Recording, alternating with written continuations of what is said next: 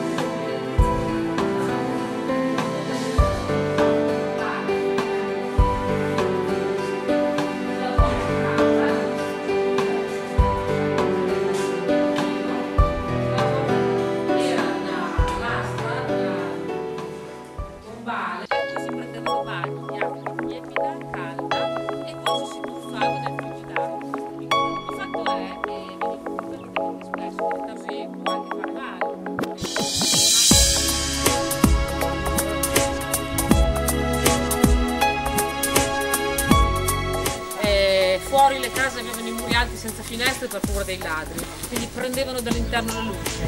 Un piccolo cortile sulla quale davano gli ospiti, cioè eh, i corridoi, che giravano tutti intorno, e su questi corridoi davano questi piccoli muretti che adesso si intravede così e no, l'erba è alta, ma c'erano stanze tipo questa, che erano cubicola, e quindi stanze da letto, da studio che altro. In fondo c'era il tablino, la stanza più grande, il soggiorno della casa, dove la famiglia passava la maggior parte eh, della giornata. Davano poca importanza alla stanza da letto, che erano piuttosto piccole, lì ci dormivano molto spartani, più importanza veniva data invece alla stanza che magari si usava normalmente durante il giorno.